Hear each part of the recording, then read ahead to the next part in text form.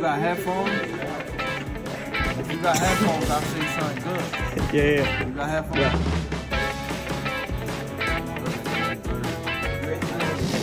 My, my neck hurts, bro. Hold up. I go. Say something. Bye, Mike. So how great is this, is this product? Great. you can bleep that out.